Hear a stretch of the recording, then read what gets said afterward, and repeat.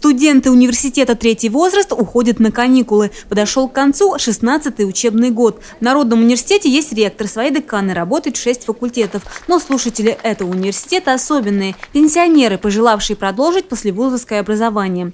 По традиции, перед расставанием на лето слушатели собираются все вместе, чтобы подвести итоги, наметить планы на будущее и, конечно, показать все, чему научились. Приятно то, что у нас такая организация есть.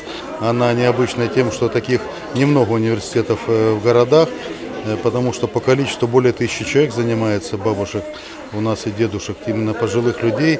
И э, то, что они вот так самоорганизовались, смогли э, выстроить целую систему обучения именно наших ветеранов. Это, конечно, почетно. Как говорят о себе студентки, третий возраст – это самое начало активной общественной деятельности, наиболее подходящая пора для тех дел, на которые раньше не всегда хватало времени.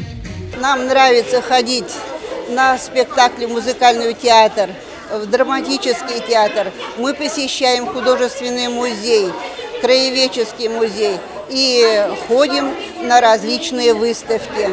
У нас очень активные слушатели. О своих годах вольные студенты университета третий возраст предпочитают не говорить. Они молоды и сердцем, и душой, а потому окружающие должны только позавидовать их активности и жизнелюбию.